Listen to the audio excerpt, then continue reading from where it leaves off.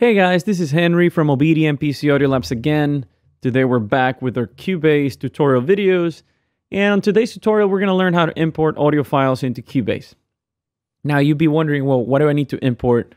Why would I need to import audio files into Cubase? Well, uh, the reality is that, you know, in, in today's uh, modern production world, we don't all work in the same DAW. So you're gonna have situations in which you need to import things that someone else did in another another DAW. Maybe you're gonna be mixing in Cubase, but someone perhaps produced in another system. So they might send you the audio files so that you can import them into your Cubase project, and then you can do your mixing, your editing, your mastering, or whatever you're gonna be doing. Um, so um, how do we do it? Well, very simple. If we go top menu bar, file, then we look for import and you have all these options. The very first one, import audio file. We click there and you're going to see this browser, this import audio browser. So I conveniently have a folder on my desktop. It's called audio files to import. Uh, it's not going to be the name of your folder, but I just did it for the purpose of this tour, the tutorial, right? And uh, here I have one file. It's called lead. It's a lead.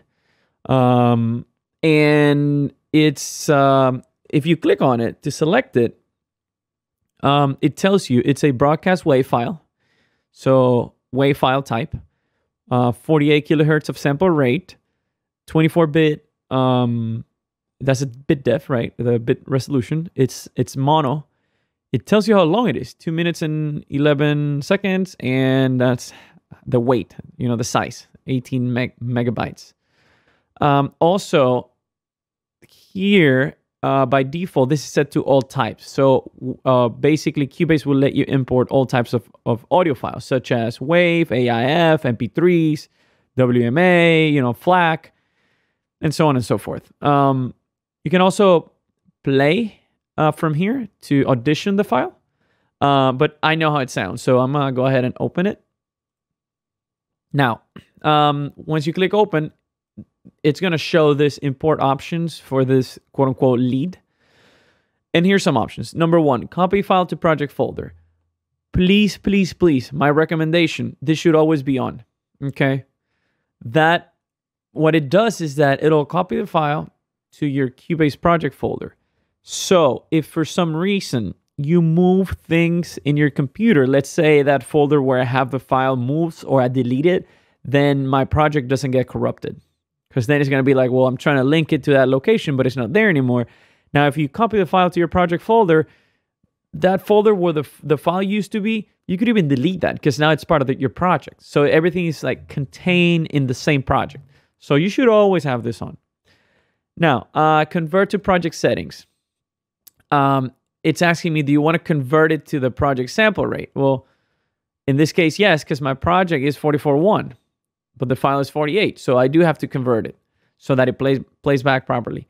Uh, the bit depth, it won't let me select that option because it is already in the same bit depth. Um, do not ask again. I never have that. I always leave it unchecked so it'll always ask me. Okay.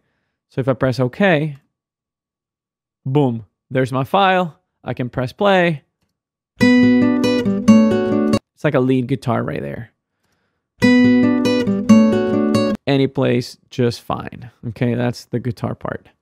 So that's how you import files into Cubase. Also keep in mind, uh, when it imported it, it basically put it uh, or it placed it at the start of the project. Uh, why? Because that's where my playback was located. So my recommendation before you import, always make sure that your playback is set to bar one beat one. That way it'll be imported and everything will be lined or aligned to the start.